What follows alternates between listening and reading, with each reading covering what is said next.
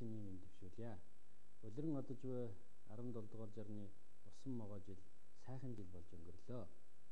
Могоо жилд зун нь дэлгэр сайхан хуртаа, өвөл нь үнэтэй, түмэн олны сэтгэлийг амраасан сайхан жилээр бидний сэтгэлд хоногсож үлдсэн.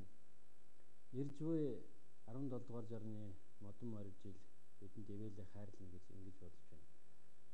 Морь Монгол хүн хоёр хоорондоо хүн холбоо 20 жил эзэн богд Чингис маань ийлсэн. Мориороо бид дэлхийн талыг туулж намгтгаж явсан. Морио сүлдэндээ дээдлж шүтэж амьддаг ард түмэн. Тэм учраас морин жил бидэнд бол ач хуйна хайрлна гэж боддог. Хөгжлийн маань хурц төрөсөх бах, айл өрхвгийн хомрт үрдүн очих бах, бэрхшээл хүндрэлийн ард гарсан ийм сайхан жил болох байхаа гэж бодож байна.